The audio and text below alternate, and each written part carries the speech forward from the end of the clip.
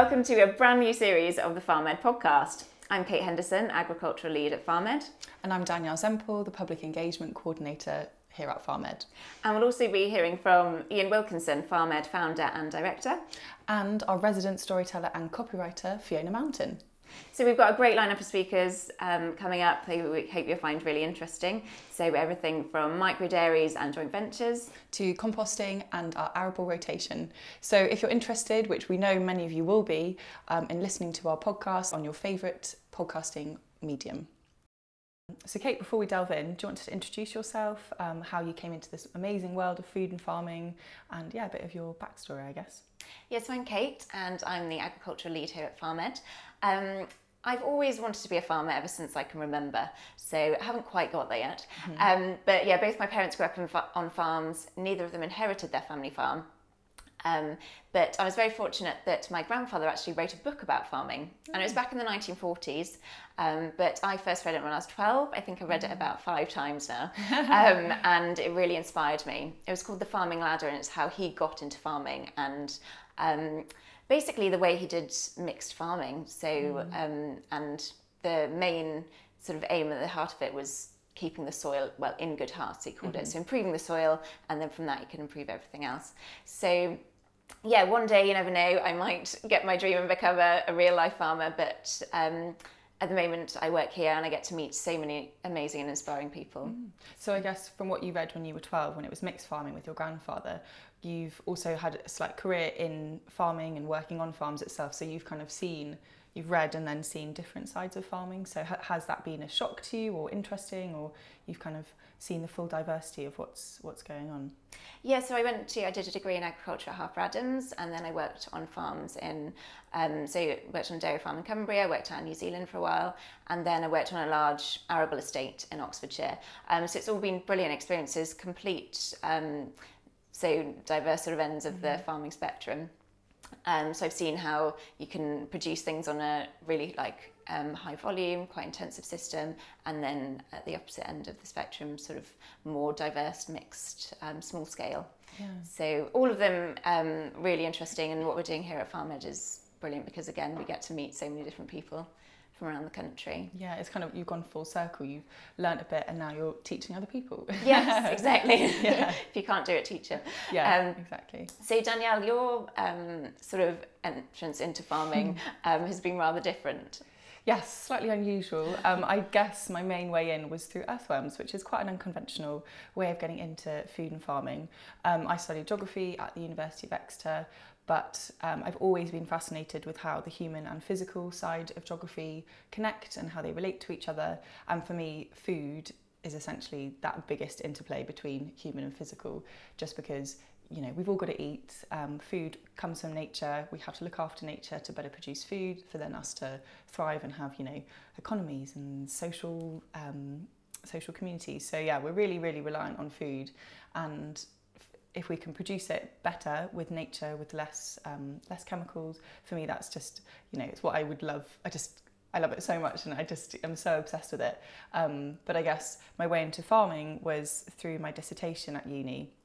I studied how earthworms can better improve the soil health and therefore the crops um, in, in, in the soil um, naturally because you know they are nature's plough, they produce the earthworm, their poo is so rich in nutrients, it's kind of like a free fertilizer. So I was fascinated and hooked on why aren't we using earthworms? or why aren't earthworms talked about more when you know bumblebees and insects? There's a lot of discussion around them.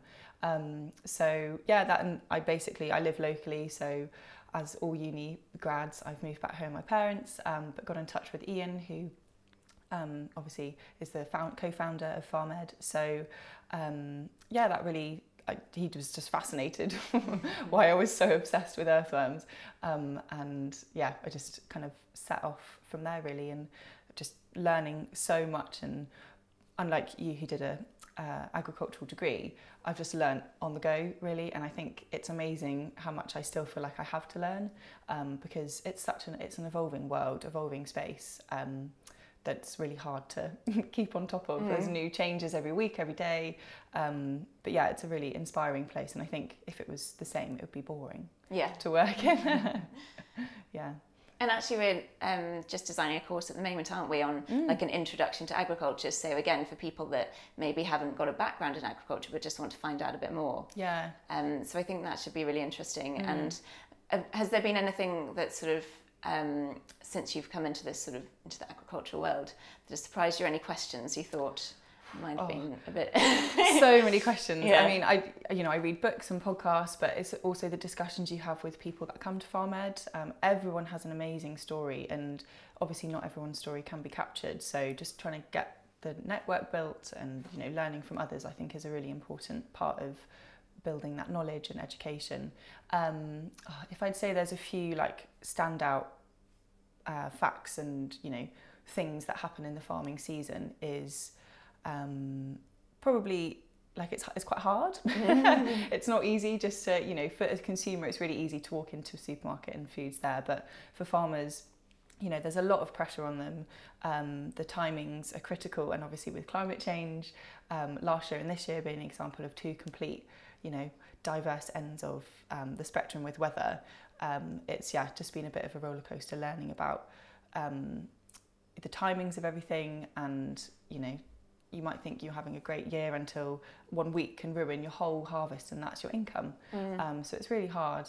Um, but also, I mean, I know you've been having conversations with people about the history of farming and how that's evolved, and that obviously links with your grandfather. yeah. Um, and I know you were um, really fascinated by the Partition Act and all of the things in the landscape that we can see now. So I don't know if you want to. Yeah, so um, I mean, I'd done a degree in agriculture. I'd worked in agriculture quite a while. Obviously, brought up in that sort of environment.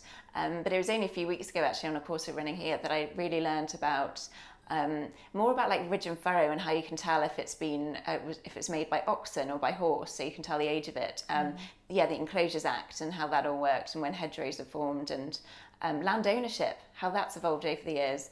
Um, yeah, so that's something we're definitely going to go through in the course, I think, because it just shows when you look at what's happened over the centuries and also the subsidies, how that's really affected land use and how the landscape looks. Because that's a big topic of conversation now for farmers, but the fact that there's been a whole history of it, can we learn from that in the past? Um, and also, there's the um, the types of agriculture. You know, now we're kind of defining and putting principles behind agriculture that perhaps we didn't before because it just was agriculture. So it's a really diverse space.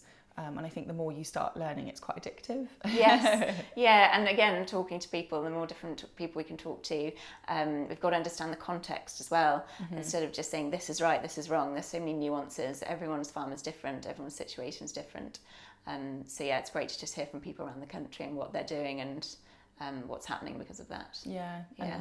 because there's so many buzzwords that are hard to hard to learn, and people, you know, we're we're probably um, uh, susceptible to just like saying these words that no one else really understands. So yeah, that course will be really helpful to define regenerative agriculture, precision agriculture, thing like agroecology, things that we think are really common, but not many people know at all what it's about and the actual implications Yeah. of them as well on nature and humans and yeah, all of those great things. Yeah, and also I'm really excited about um, some of the other courses we're starting to do. So like how to set up a joint venture, how to set up a market garden, like actually getting the people in who are doing it, who are making it work, so we can help other people on the farming ladder, I suppose, just to get on that first rung, and see what they need to do to start these things. because I think now we're at such an exciting point in food and farming that you know the trajectory we, we've already started the, the the ball's rolling and we just want to help as many people who have that seed if you pardon the pun of the idea. Yeah. They- we want to kind of plant the seed um, and really help them establish and flourish, uh, flourish because we know we can't solve all the issues. We're only we're quite a small farm but the fact that we can bring people here and they then they can take a bit of farm ed with them. They can take what they've learned and um, implement all of the wonderful things that are already happening but we need, we just need the momentum to keep growing really. So Yeah, having these introductory courses are great starting points and baselining almost um, to get more people involved. Because you know with the podcast on careers in agroecology you know there's me having earthworms as my way in. I never ever thought you know you have those career talks at school like i wanted to be an artist but now kind of looking back and reflecting it's such an interesting way. There's always a unique way in um, that can be really really strange but if it works for you it works for you. Um, so hopefully yeah we can provide some of that on our our courses and just by talking with other experts that we're bringing in with our podcasts too. Yeah, I mean, and just um, showing that farming and the food and farming sector mm. is such an amazing place to be. I mean, when I was at school, again, I said I wanted to be a farmer. I wanted to go to university to do farming, and I was I was at a rural school, but I still got laughed at by my tutor. Oh, wow. Um, he was like, "Why do you need to go to university mm. to learn how to chew a bit of straw?" I think were his exact words. Oh. But now I think um, a lot of people are realizing actually what an important role it has to play. Um, so I think, yeah, there's definitely hope in the future. Yeah, definitely. Um, and FarmEd's a great place to be. We bring a lot of a lot of guest key guest speakers in that are kind of the um, pioneers or the change makers in their industry.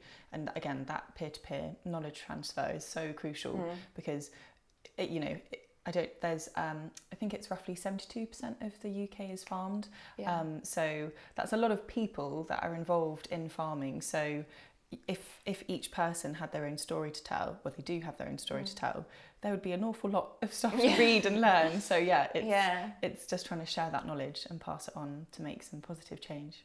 And learning from mistakes. Yes. And what's worked well. Definitely. Yeah. so we don't make the same ones. Yeah. yeah. I mean, um, if you're keen to go back and listen to the previous podcast that I featured on as a guest speaker, um, it's funny now I work here. Yeah. time time of recording, I didn't actually work here when I recorded the Earthworm podcast. But even now, I know some of the things I said weren't very accurate, and I, mm. like, but I was supposedly, you know, researching earthworms. That was my full time and that was my passion. But now again I've learned so much more mm-hmm. um, just because again the space is evolving and you get to talk to more people. Your network keeps building. So yeah again you think you might be at the, the top of your game and then another thing will come along and it will yeah, yeah you'll learn more um, which is again it's part of why food and farming is so exciting. Yeah it's constantly evolving and I think, again, going back to the point of doing these intro podcasts, is to give a taster, mm. um, and then you can get, yeah, we can sort of go on and keep learning, keep exploring. Yeah. Um, and yeah, in a couple of years' time, we might be saying that, more research will have come out, we'll found, we'll have made more mistakes, found yeah. out more things. So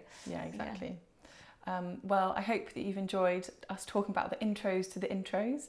Um, stay tuned for more introductory podcasts, and we look forward to welcoming you back soon.